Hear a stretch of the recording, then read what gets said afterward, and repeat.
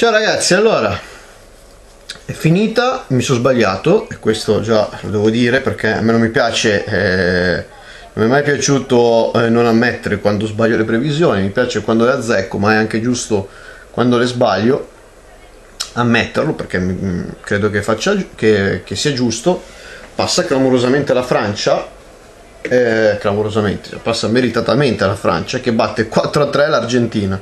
Allora, premesso che tutti quando è, ma 4-3, 4-3, quando c'è un 4-3 secondo me non è mai una gran partita, vuol dire che è piena di errori. Divertente per chi la guarda, ma per uno tecnico e critico vuol dire che qualcosa le due squadre hanno sbagliato. E chi ha sbagliato tantissimo, secondo me sì, è stata sia la Francia, ma soprattutto l'Argentina. L'Argentina che eh, ha fatto secondo me ancora, ancora sono stati fatti ancora errori di formazioni.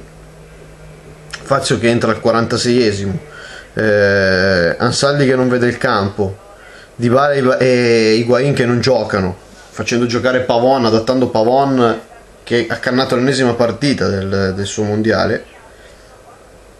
E, e, alla fine credo che la Francia passa trascinata da un, da un Mbappé è fantastico, fantastico perché intanto sposta subito l'equilibrio con il primo gol perché si fa tutto il campo obbligando Rocco poi a stenderlo e anche lì facendo, facendo vedere a tutto il mondo che l'Argentina veramente il centrocampo non ce l'ha. Poi una magia di Di Maria l'ha rimessa in partita. Sono riuscito a tornare con un gol diciamo fortuito di mercato e lì sembrava che l'Argentina potesse avere in mano la partita ma poi Pavard, doppiata di Mbappé, la partita è praticamente quasi, quasi finita perché poi sul 4-2 ormai c'era poco da fare. Ha segnato Aguero al 94 e al 93 e anche lì spiegatemi perché Aguero è entrato soltanto al 66esimo quando il risultato diceva già che Francia, qua, Francia 3 eh, cioè Francia 3 Argentina 2 e poco dopo l'ingresso di Aguero la partita è andata subito poi ancora peggio perché è andato il 4 3 il 4 2 e forse Aguero serviva un po' prima.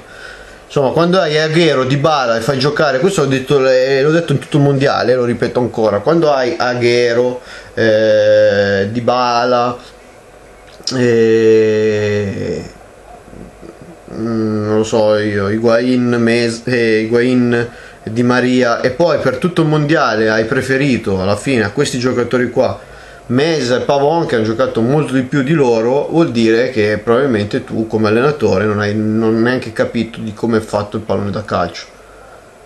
Detto questo l'Argentina esce contro comunque una buona Francia che continua a non impressionare continua ad avere una difesa eh, un po' ballerina perché comunque quando prendi tre gol non va mai bene però va avanti. E alla fine in questo mondiale l'importante credo che sia sempre rimanere dentro. Poi dopo eh, chiaramente una volta che si è dentro si, i, si, fanno i conti man mano che si va avanti. Comunque quindi la Francia vince ha sempre assolutamente ragione. E dispiace per Matuidi che salterà la prossima partita ma che tornerebbe in caso di eh, semifinale e credo che la Francia abbia buone possibilità perché comunque adesso oggi mi vedrò Portogallo Uruguay-Portogallo ma credo che entrambe le squadre non siano a livelli di Francia e Argentina. Quindi se la Francia non fa cappelle credo che in semifinale possa prenotarsi già un posto. Eh, comunque Francia dentro Argentina fuori. Argentina che alla fine eh, è uscita un turno dopo rispetto a quello che ormai si pensava visto che sembrava già fuori nei gironi.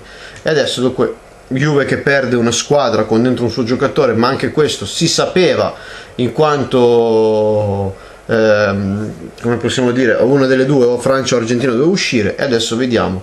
Eh, c'è stasera Uruguay-Portogallo, spero nell'Uruguay, è difficile perché Ronaldo sarà caricato da questa prestazione non brillantissima di Messi e staremo a vedere insomma. Io intanto vi saluto e vi do appuntamento al prossimo video se riesco, a proposito stasera, ma credo sul tardi e non appena finita la partita, ecco. Vi saluto e vi do appuntamento appunto al prossimo video. Ciao!